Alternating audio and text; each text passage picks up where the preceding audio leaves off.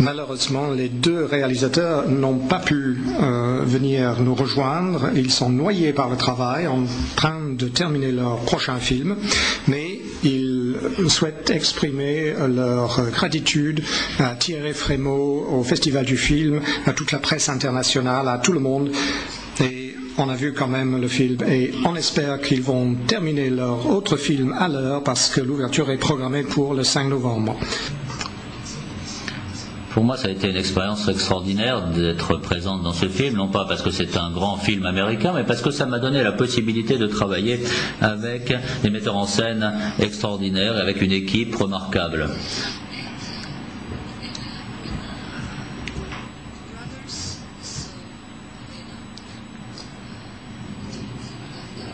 il y avait un film italien qui avait été tourné avec Giuseppe Tornatore et ils l'avaient vu, les frères l'avaient vu ce film et ils, ils m'ont euh, euh, testé, puis ils m'ont choisi. En ce qui me concerne, on m'a sélectionné uniquement parce que j'ai un accent français. C'est tout ce que j'ai à dire.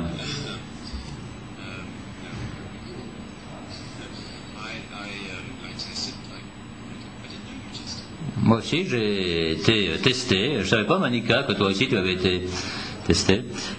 Et bien sûr, il fallait un acteur francophone. Et je ne sais pas pourquoi on m'a choisi moi, mais c'était une expérience extraordinaire.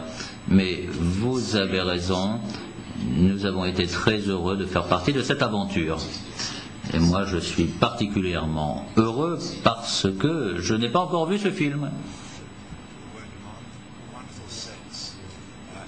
Dans la plupart des cas, on travaillait sur des scènes qui étaient très bien organisées. Il y avait des éléments ici ou là sur ces scènes, parfois avec des écrans bleus, et on a également euh, euh, pris certains éléments euh, sur scène. Il y avait aussi d'autres acteurs. Nous avons travaillé aussi euh, les uns avec, les autres, euh, pas seulement avec ces éléments. Alors les scènes de bataille étaient beaucoup plus complexes que dans la première version de Matrix.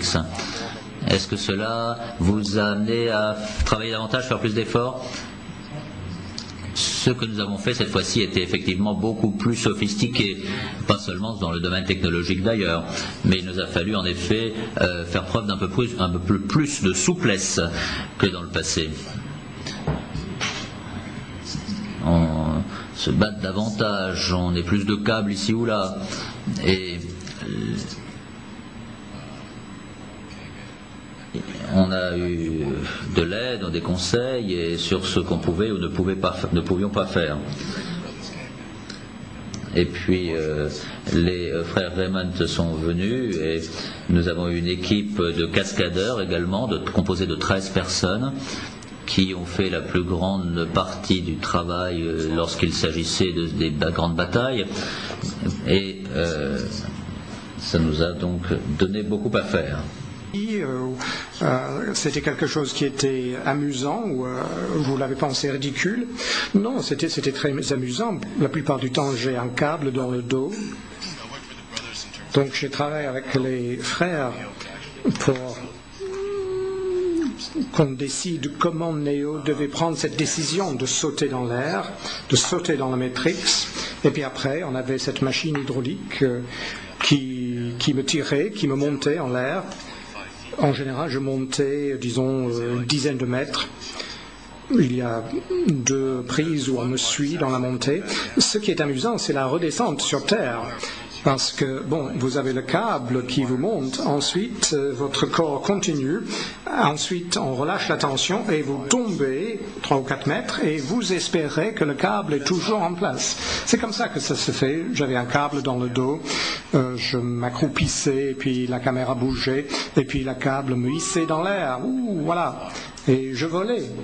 Je volais, c'était très amusant en fait. Euh, c'était tout à fait pareil pour moi quand j'ai mis le costume de Trinity.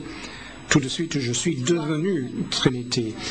Euh, par beaucoup de choses, bien sûr, par la, formation, l'exercice physique, mais avec les lunettes, avec euh, le manteau, ça a changé ma façon de me mouvoir, de marcher. Et puis, à l'intérieur de la ville, à l'intérieur de Zion, le fait de mettre ces tissus très coulants, là, ça a créé euh, une autre facette de ce personnage.